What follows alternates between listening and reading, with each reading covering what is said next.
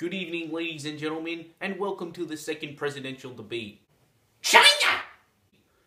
Tonight, it's going to be Hillary Clinton versus Donald Trump. And the first subject will be on the border. It's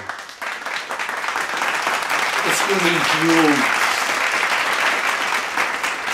Uh, borders, you know, it's it's it's tremendous. You know what's going on with the border jumpers and illegal immigrants coming into our country.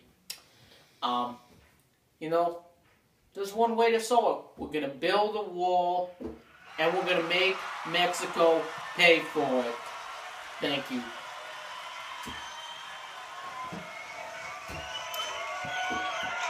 Thank you. Well, good evening, America.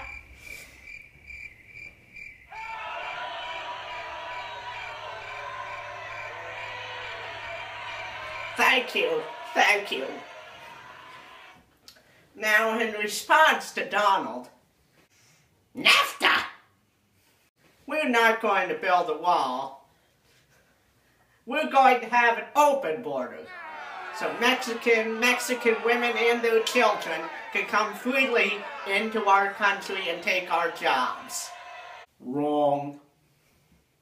That Mr. Trump needs to release his tax returns. Wrong. Just look at him, sitting over there and all this wealth. But the Clinton Foundation gives 90% of their proceeds to homeless children across the world. You are a very nasty person. Now, you can do fact checking at hillaryclinton.com. I dare you. Go ahead, Donald.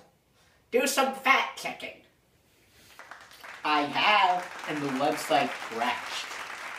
Please, please, uh, please don't interrupt while the other candidate is trying to speak. P- Please, please refrain from from interrupting. Thank you. All right. Uh, the next subject is on the Second Amendment. Uh, Donald Trump. Uh, we're starting with you. You have. Let me tell you. We have the right to keep and bear arms. Because we do. The Second Amendment is right here, down on paper, and that's what it does. How can you distort this? Thank you. Thank you.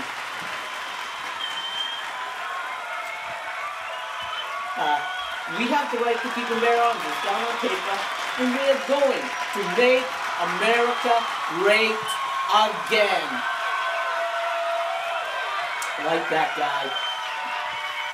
Would the audience please uh, uh, refrain from from clapping and and applauding? Uh, Uh, just slowing things down and making it take longer. Mr. Trump, you are the most racist person that I have ever seen. And our young girls are watching this right now, and what do you think they're thinking? Shut up, you white trash! Please, please, Mr. Trump, try to try to remain calm. Thank you. One one minute, I need to delete some emails. The next subject will be on your capability to be president. Uh, Hillary, we'll start with you. I would never do anything to hurt a spaconic girl. Those are nice words, but they happen to be wrong. Mr. Trump, I think that you are the most racist person that I have ever seen. Wrong, wrong, wrong, wrong, wrong, wrong, wrong, wrong, wrong, wrong, wrong.